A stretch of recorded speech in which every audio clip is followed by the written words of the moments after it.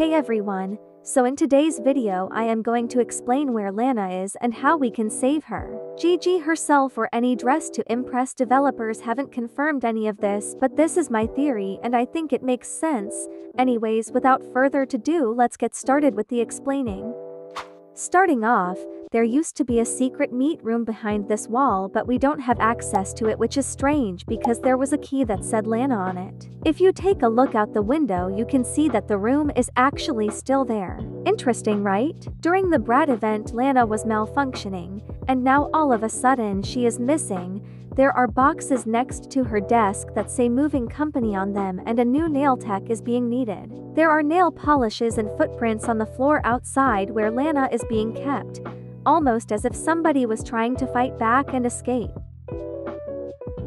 Lana is being held hostage and she is hysterically crying. Although we don't know if this is actually Lana because she is wearing a skirt instead of her casual white jeans but at the top of her cage it says Lana number 1 and on the other one it says Lana number 2. What we do know for a fact is that Lana number 2 has escaped. Lana has let us know that somebody is trying to imitate her and act like her since on the walls she has written, where is she? Her name is like mine but she is so different, please believe I'm real, she will be gone.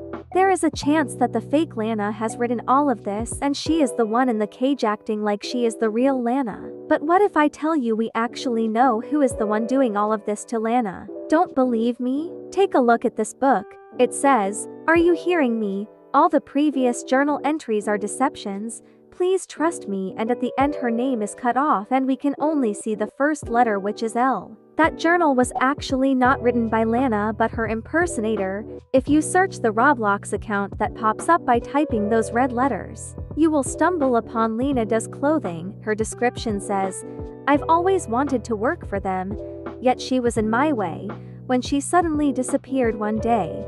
I asked to fill in the gaps she had left behind her, of course, a salon can't function without the owner. I have a feeling everything I've worked for is just temporary. She is also friends with Serena Does Clothing whose description says, I just wanted to help. Remember when Lana said that her name is like hers?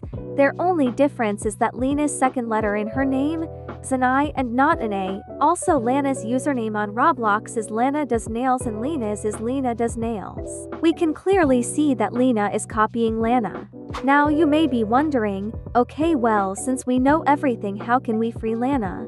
Well let me tell you, on Halloween this mysterious portal will open where we will have to face Lina and maybe even her mates in a different experience. We also might have to fight her with these axes. Once we have helped Lana escape we will be able to redeem this axe accessory by using a code. It has also been confirmed that we will be able to get access to this axe that was made by Motor Princess. With that being said that was it for today's video. If you enjoyed my theory make sure to subscribe and give this video a big thumbs up. Let me know your opinion about my theory and if you have a theory yourself make sure to comment it down below. I would love to read it. Anyway see you guys next time.